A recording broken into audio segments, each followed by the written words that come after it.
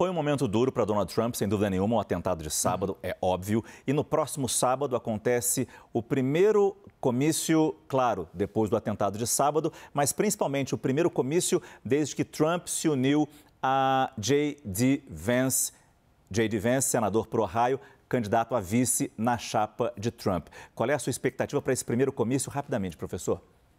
Ah, eu acho que vai ser um, um, um, comício que vai atrair bastante atenções, né? Eu acredito que o próprio o Serviço de Segurança agora vai estar com atenção redobrada e eu imagino que o J.D. Vance vai ter um papel de destaque também já para se apresentar, porque ele representa essa nova etapa do Partido Republicano, um partido que se desloca do neoconservadorismo para o nacional conservadorismo, tendo o Trump como a sua figura emblemática dessa transformação do Reagan para o Trump como sendo o símbolo fundamental do Partido Republicano a partir de agora.